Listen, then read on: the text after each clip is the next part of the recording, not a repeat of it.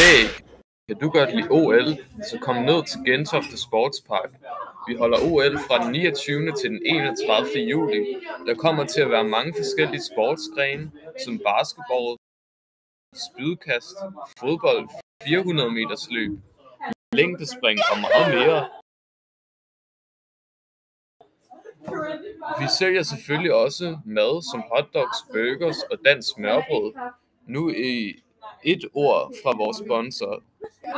Både er en lækker vitamindrik, som har mange gode smage, som Awake, Antioxidant, Celebrate og Upgrade. Køb dem i butikkerne nu.